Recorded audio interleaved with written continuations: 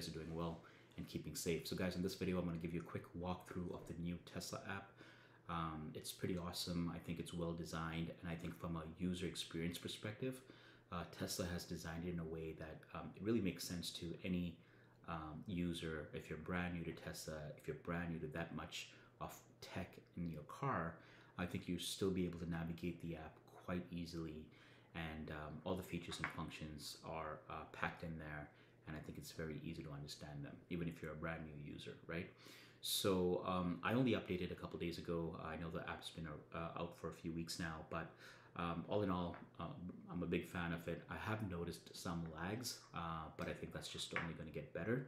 But that being said, let me know what your experience has been with the new app, if you like it, um, what your general comments are, etc., etc. right?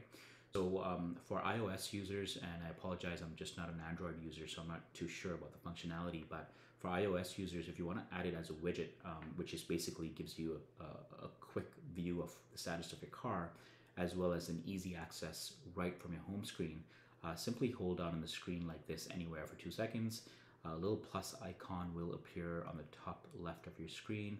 Click on the plus icon and then you can just go ahead and add whatever widgets that you want, right? So from stocks to um, whatever it may be. In, in my case, I added the Tesla app as well as my local weather app, right? So um, again, bird's eye view right from the home screen and to get into the app, I could simply click on it and it's gonna um, open up. So um, here's the app, guys. As, as I mentioned, very sleek and very beautiful. Uh, I think the images are really nice as well. I think Tesla's done a, a pretty good job with it. So on the top left is basically the name of your car. In my case, it's Lexi. Uh, then the number of miles or kilometers left in terms of range. And then the status of the car right under that, which is basically uh, parked right now. But if it's driving, it'll actually uh, show you uh, how fast the car is going, the images will actually change into the car rolling on the street, which I thought was pretty sweet as well. And uh, it'll give you a uh, real-time status of, of the car, right? On the top right-hand corner is uh, basically your user profile. Um, so there's me. If I want to go up to back to the um, app, I just simply click on that. Or if I want to shop with Tesla, uh, there's pretty much everything here from wall chargers to apparel to accessories, etc., etc. right? So you could go ahead and do that right from the app. Um, then you have your inbox, basically any new types of updates, uh, software updates, etc. Anything that Tesla wants to share with you should show up in your inbox. Uh, Lootbox is an area where a view of your supercharger credits, as well as um, any um, uh, referral links that you want to share with somebody that you know that's buying a Tesla. Um, and keep in mind, uh, I know a lot of you have already used my uh, referral code, so thank you for that. If you are buying, oh, there you go. Uh, that's what I mentioned. Sometimes it does lag, and sometimes things don't load as fast as they, they need to, or at all for that matter. Um, so you will notice that. Um, and again, I've noticed it very few times, so I'm sure Tesla's going to improve it. If you are buying a Tesla, if you have one on order and you don't have someone's referral code, uh, please go ahead and use mine. I'll put it down in the description. And for those of you who have already done it, uh, thank you again. Um, account um, is, you know, um, order history, uh, contact info. Uh, in this, in my case, I just ordered a, a charger. Uh, and then charging, um, I, I, know a couple of you guys have this comment. So um, if you don't have referral credits and you want to use supercharger credits, uh, or superchargers rather, you simply click, go there, you click on charging, you go into manage payment, and you'll be able to put in your um, billing information as well as your credit card right in there.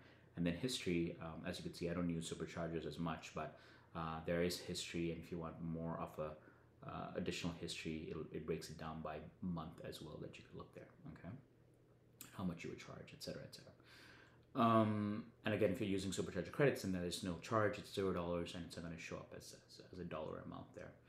Um, settings, that's basically you could sync calendars and uh, control your notifications, uh, what type of notifications you get.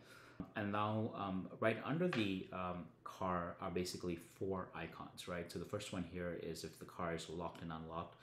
Um, I don't know why my wife, uh, she's parked right now, she's doing her hair, but as you can see, the car is uh, unlocked, so I just locked it for her. Uh, the next one is climate. You could turn climate on and off, and I'll show you that on the climate screen as well. Uh, next is charging. Uh, so here's where you could go and set your charging limits and stuff like that right through the app as opposed to doing it from the car. Um, also, if you just click on the 196 kilometers there on the top, it's going to pull up the same screen. So I'm going to click there and uh, the same bar, toggle bar will uh, appear there as well. And then lastly, the uh, frunk, right? So if you want uh, to put some bags in the car, whatever it is, access to the frunk is right there. The next thing is controls. So I'm gonna go ahead and click on controls. And this is what I mean, you know, uh, Tesla made this very foolproof. Um, it's easy to understand, uh, you know, it's it's very easy to navigate and you, you, you know exactly what to do and where to find it from, from within this app. So in controls, uh, quite straightforward. You could open your frunk, you could lock and unlock the car, you could open um, the, the, the, trunk, and then you could also open the uh, charge port if you need to, all from this screen here. At the bottom, you'll see four other icons, which is uh, flash the lights. You could um, honk, you could um, start, and you could also vent your windows, right? All from this control screen. If I pop into climate here, um, again, very well laid out, very easy to understand. I could do a series of things here. So um, I could uh, turn on my climate um, the same way I was able to do from my, home screen. Uh, but here I have a little bit more control um, over the different types of settings, right? So uh, at the bottom left there, you'll see the off button. That means climate's off. Um, interior cabin temperature right now is 21 degrees Celsius. Um, exterior um, uh, temperature outside the car is 18 degrees Celsius, right? So cabin is nice and comfy, but I'll show you how to turn that on. I'm gonna go ahead and press turn on and it's gonna keep it at around 21 degrees right now, okay? Now, um, if I wanna uh, turn the defrost on, I'm gonna go ahead and click on that button. Uh, if I want to put the steering wheel on, and just yesterday, you know, uh, my wife was taking the Tesla to go drop the kids at school. So, you know, 10 minutes before they left, I, I turned this on, I put the steering wheel on for them, uh, put the uh, butt warmers on as well um, uh, for my, my older daughter and my wife. And you could also control the butt warmer uh, sensitivity. So this could be, you know, low, medium, high, basically. So getting into the colder months here in Montreal, all these things come in very handy. So I'm going to take all this stuff off. So again, very easy to uh, set all those settings up as you need it, right? And now if I click on the 21 degrees here, you'll see another little toggle bar come left and right, uh, which is pretty cool. You could just go to uh, 22 degrees or whatever it is. So in this case, uh, I'm just going to leave it at 20.5 here, and I'm going to take off the temperature. And also um, on this screen as well, you have the option to open and close the windows, uh, which is just basically venting out the car, right?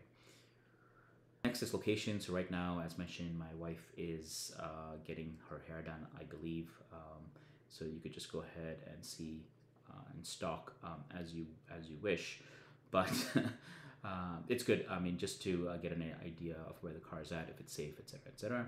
And then uh, security. Uh, right now, it's just telling me that my particular card key, because I'm obviously not in the car, so my card key is linked to my phone, and then via Bluetooth it connects to the car, right? So right now I'm not there, so uh, my my particular card is disconnected. Um, I could turn on uh, Sentry mode here as well. If you have, if you don't know what Sentry mode is, or you want to check it out and see how it really works, I have another video on it as well. I'll try to link to it here.